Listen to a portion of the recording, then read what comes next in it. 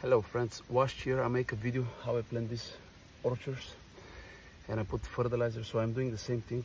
We already have the chips down on the ground. The next thing I did, I put a fertilizer organic, I have to be slow release and I put manure. And the next thing I will do, I will flip over the whole soil. That's the way I'm doing it.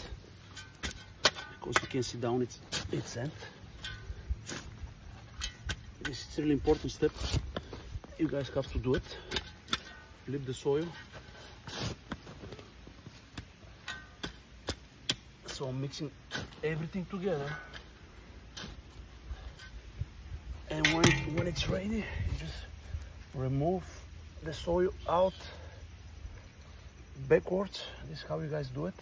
The reason why I'm doing these things, feeding them sorely is fertilizer and feeding the microorganisms. Thank you so much for watching it. Make sure to subscribe. Bye bye.